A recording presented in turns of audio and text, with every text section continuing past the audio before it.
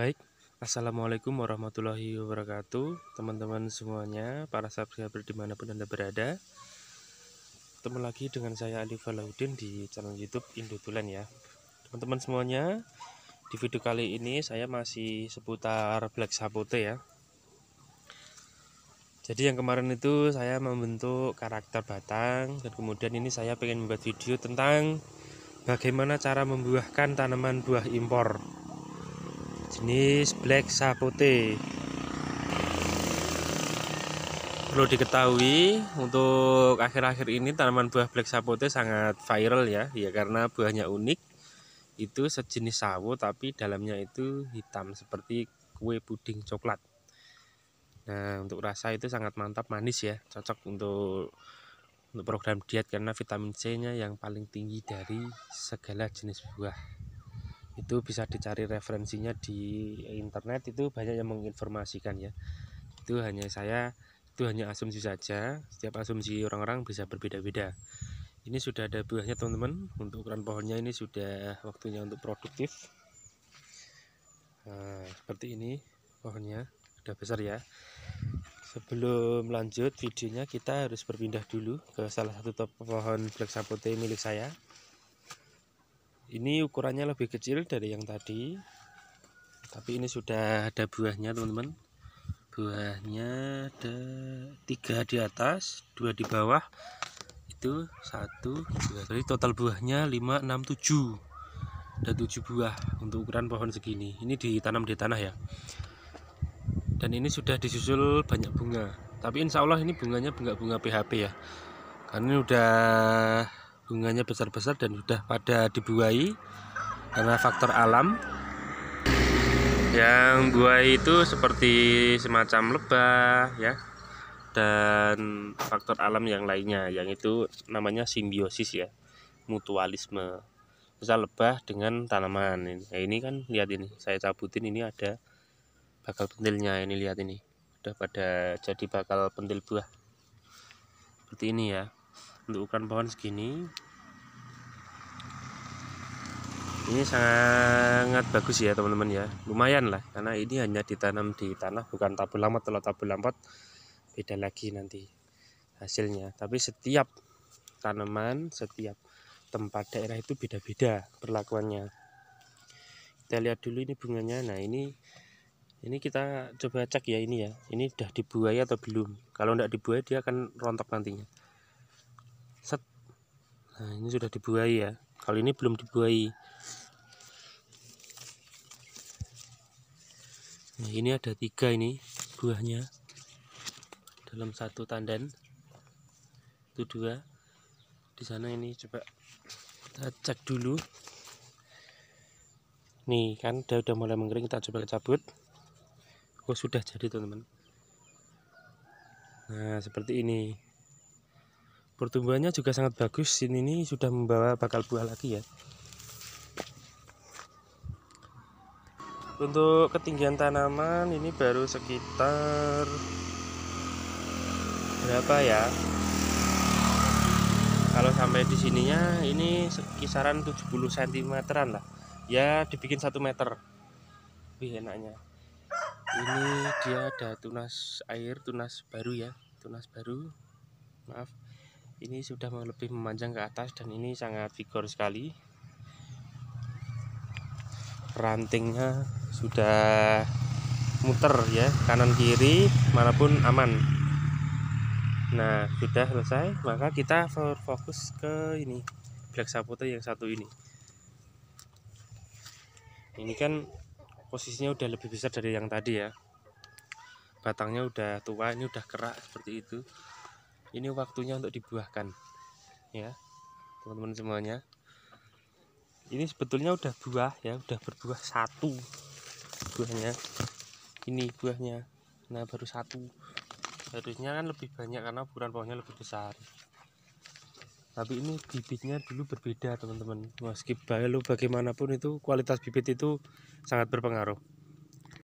Ini awalnya tanam itu dari stek ya bibit dari stek kalau yang tadi di video itu awalnya dari okulasi. Nah teman-teman semuanya ini kita akan rawat kemudian kita buahkan dan apa saja perlengkapan untuk membuahkan black sapote ini akan insya Allah saya video ini di dalam video ini sangat lengkap. Nah begini teman-teman mari kita lihat dulu posisi di bawahnya itu. Eh, tanaman rumputnya sangat subur gulmanya. Itu menandakan ini kondisi tanahnya bagus subur ya. Nah ini sebelum kita buahkan kita harus bersihkan dulu. Tapi ini saya tidak mendangir atau mencabut. Karena nanti kalau saya dangir Atau apa itu namanya Digemburkan Nanti dia justru akan keluar tunas baru. Jadi dia semakin subur. Nah, Dibuahkan itu akan berkendala Kurang maksimal ini ya. Ini kita harus apa namanya dibersihkan dulu Ya pakai sabit aja Bentar Nah ini kita tidak usah dicabut teman-teman. Ini kita bersihkan saja dengan cara dibabat seperti ini. Ini untuk menjaga kelangsungan hidup mikroorganismenya juga. Kalau kita bersihkan hanya yang hidup tanaman sapotenya saja ini nanti untuk jangka sekitar 4 sampai 5 tahun yang akan datang itu mikroorganismenya ada pada mati ya maka tidak maksimal nantinya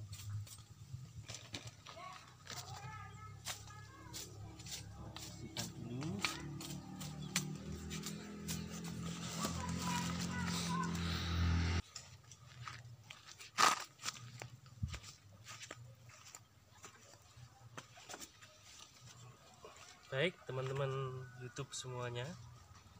Di kali ini saya sudah mempersiapkan Ada beberapa alat ya. Ini ada gayung, ada ember. Ini ukurannya kisaran 10 liter ya Dan juga ada ember kecil. Ada ini alat untuk siram Untuk kocornya nanti. Ada juga pupuk MKP Ini pupuk untuk fase generatif ini saya menggunakan MKP karena yang mudah didapatkan untuk di wilayah teman-teman semuanya. Mungkin pupuk ini sudah tidak asing lagi di mana-mana juga ada. Tapi maaf saya tidak berpromosi atau apa pun dan tidak ingin merugikan pihak mana pun. Teman-teman semuanya perlu disiapkan juga ini alat untuk mengukur pH meter karena ukuran pH tanah itu sangat penting. Lalu kemudian saya siapkan juga ini ada alat tes ukur ppm ya ppm itu part per million. Jadi ada ada ukuran tertentu untuk mengukur pupuk ya. Alatnya seperti ini. Coba kita langsung saja ya mengetes dulu. Ini air ini usahakan jangan menggunakan air pump.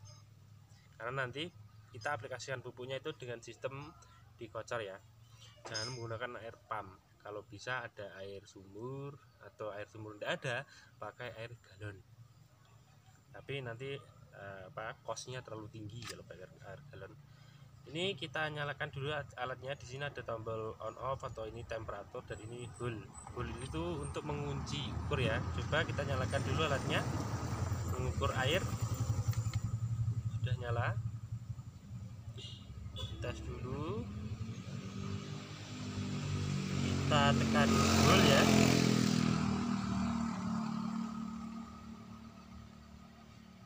ini ada angka 0,61 ppm sangat rendah sekali. Nah ini cocok untuk dibuat pemupukan nah teman-teman kemudian ini ada alat tes pH meter. Kita tes dulu pH nya tanaman ini.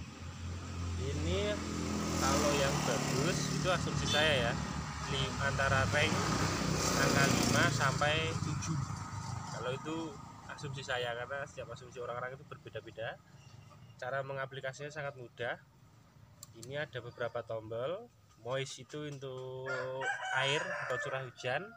Like itu untuk matahari. Kalau ini saya nyalakan mataharinya pasti full. Lah ini siang. Terus ini ada paling sebelah kiri pH nah, ini cara ngetesnya ini ditantepin dalam tanah seperti ini. Nanti akan ketahuan berapa ukurannya. Untuk pH tanahnya berada di angka 7 teman-teman. Angka 7 jadi sangat cocok sangat bagus. Ini lihat tadi pertumbuhan juga sangat bagus kalau pH nya itu. Anjlok itu tanaman stuck kalau terlalu, terlalu tinggi misal angkanya 10 sampai lebih itu tanahnya juga tidak bagus nah teman-teman tidak lama lagi tidak usah menunggu lama-lama mari kita campur dulu pupuknya ini. Untuk fase generatif ini akan saya mencoba itu di antara rank 1200 sampai 1500 ppm. Saya matikan dulu alatnya. Mari kita ambil pupuknya ini usahakan pakai sendok jangan pakai tangan untuk mengambil pupuknya. Karena ini nanti bisa untuk acuan. Kita ambil satu sendok sendok teh ya. Kita larutkan. Satu sendok saja dulu. Kita tes berapa ppm.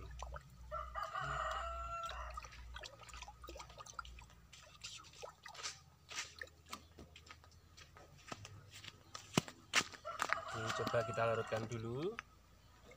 Pakai tangan saya. Kalau pakai alat bantu juga pakai alat bantu kalau ada teman-teman mau, mau praktek. Kita cek dulu sudah naik atau belum BBM nya kita hidupkan. Ini, ini sembari belajar dan saya juga mau mengetes ini. 1000 di rank 1200 sampai 1000 1500 ppm udah naik atau belum?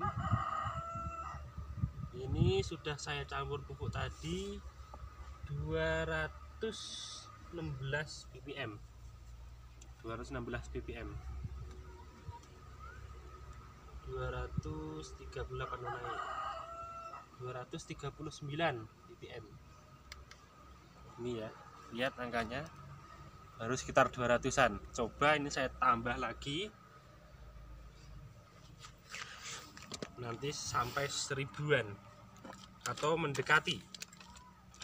Saya tambah lagi teman-teman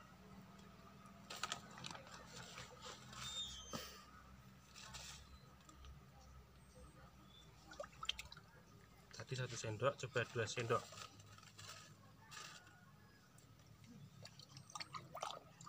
Nanti kalau angka BPN nya sudah terpenuhi Insya Allah hasilnya sangat memuaskan ya. Salurkan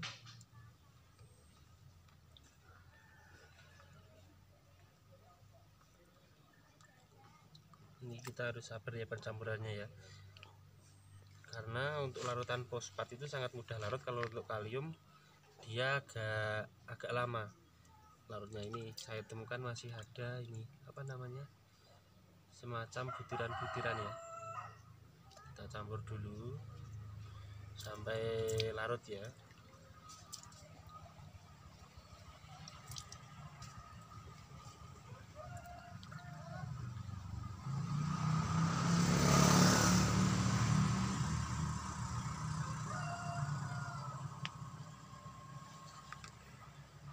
masih ada.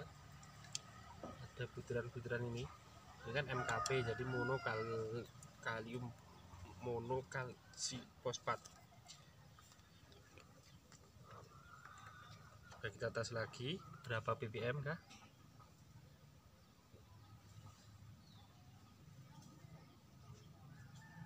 Mantap bro. Ini dapat angka 106 ppm kelihatan enggak nah ini hanya tulisannya di sini 106 tapi di belakang ini ada kali 10 berarti sudah kita sudah mendapatkan 1060 ppm ya. Ini. Kita akan harus mendapatkan untuk angka di angka 1500 coba. Kita tambahi dulu pupuknya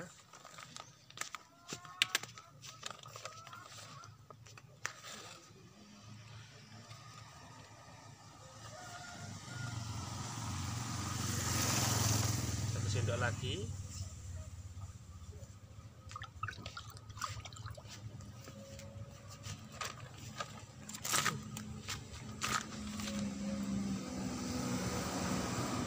Kita larutkan dulu teman-teman. Ini ya sembari belajar ya karena saya sendiri juga bukan masternya. Saya juga masih tahap belajar. Karena dalam il- ilmu pertanian itu enggak satu tambah satu dua tapi satu tambah satu lima. Jadi sulit untuk diprediksi.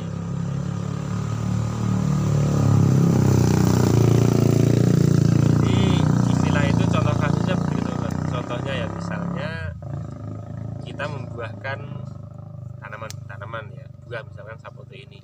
Oh kita pupuk 1500 ppm oh nanti kita mendapat buah sebanyak 100 itu tidak bisa bisa kurang bisa lebih. Maka istilahnya satu tambah satu sama dengan 5 sudah?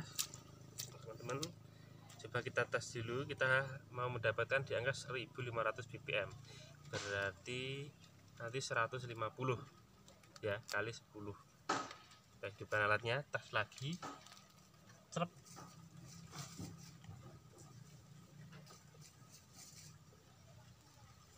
kita tahan hold kita mendapatkan angka 131 kali 10 ppm berarti baru 1300 sebetulnya udah bagus ini teman-teman. Tapi mau saya coba di angka 1500 ppm ini biar ekstrim ini soalnya udah pohonnya udah besar tapi belum buah. Eh buah baru satu. Ini mau saya coba cara yang ekstrim. Kita tambahi dulu MKP nya satu sendok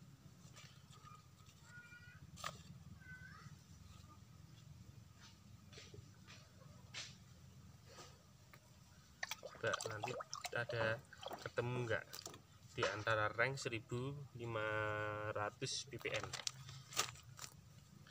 kita aduk dulu teman-teman. Ini nanti kalau berhasil saya buat video lagi ya. Semoga saja ini pohonnya buahnya sampai tumpeh-tumpeh. Ini di bawah ini masih ada ini teman-teman. Larutannya belum larut semua. Jadi agak lama ya untuk menyampurnya ini kalau pakai air hangat pasti lebih cepat. Untuk melarutkannya saja. Nanti untuk dijadikan cairan induk. Jadi pH nya udah aman ya. Kalau itu pH nya udah aman tinggal kita pupuknya berapa ppm yang diinginkan.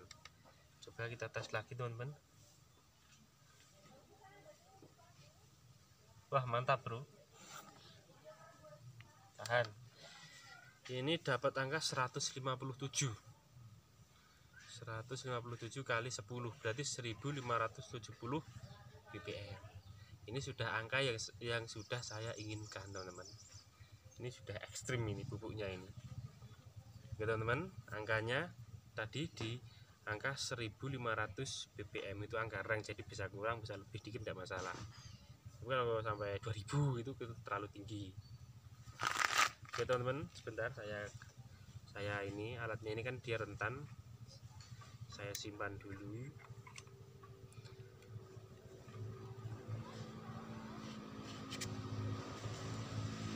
Alat pH dulu saya simpan. Singkirkan dulu.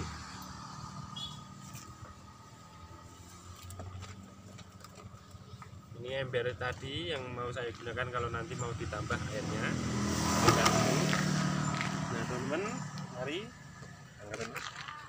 Ini kan udah pas ini takaran BBM nya tinggal kita pindah ke alat biar lebih maksimal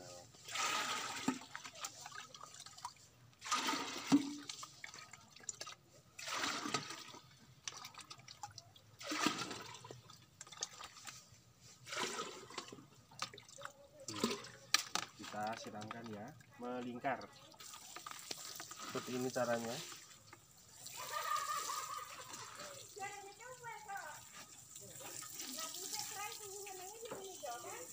Karena ini ukuran pohonnya besar ya bukan di tabel lampot maka harus meluas mengikuti akar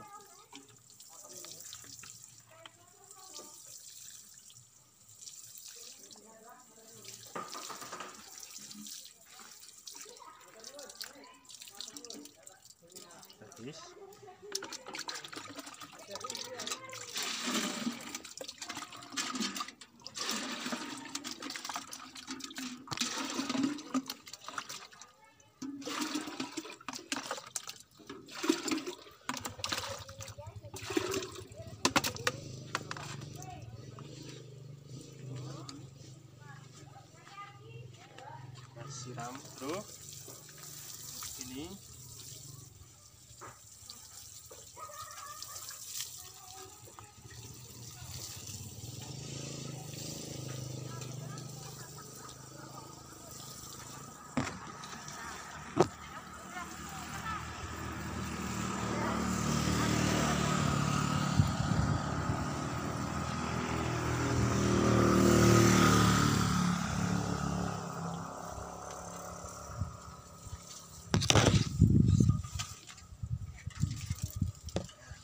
sudah kita siram melingkar ya. Insya Allah semua akarnya sudah kena. Tadi. Ini ada masih sisa berarti ini satu ini isinya 5 literan ya lebih ya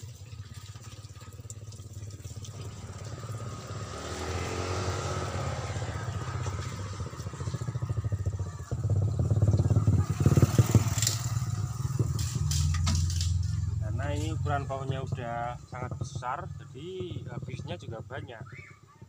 Kalau kita kasihnya cuma segayung tadi kan dia enggak kena semua teman jadi teorinya itu kondisional. Ini buahnya baru ada satu ini buahnya. Nanti semoga saja buahnya semakin banyak. Baik teman-teman semuanya mungkin ada yang ditanyakan lebih detailnya bisa ditanyakan di kolom komentar.